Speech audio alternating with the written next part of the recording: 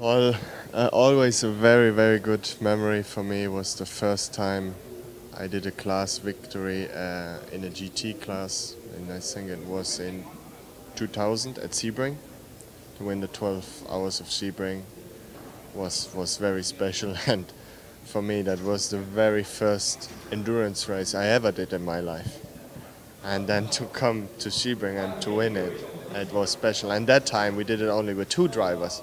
So I was completely done because I, I just didn't know what to expect. You know, my longest race was like 25 minutes in my career before that.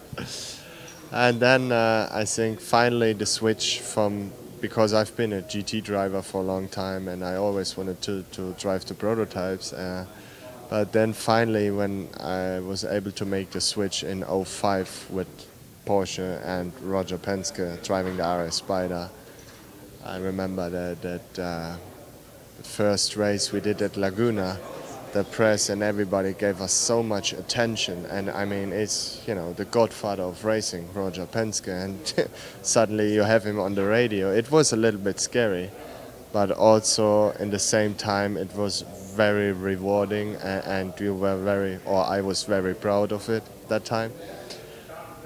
And now, uh, since 2010, I joined the Muscle Milk uh, Pickett team, and, and I just have a blast there. I, I, just love the family, Greg Pickett, and you know his sons. And I, when I have time or I have to kill some time in the U.S., I go hang out at their house and stuff. It's just a lovely family, and, and I get along great with Klaus. He's a super, super nice guy, extremely quick. I mean, some of the best sports car drivers. Uh, raced with him or against him, and they came to me and go, "Holy shit, this guy is quick," you know. So uh, no, overall, it's a, it's a very good atmosphere there, and I enjoy every every race with them. On the other hand, as I said, you know, it's only it's only two races left with LMP1 cars in America, and from race to race, you get a little bit more sad and more sad because now you know it's only two left, and then these cars are not going to be seen in the US for a while.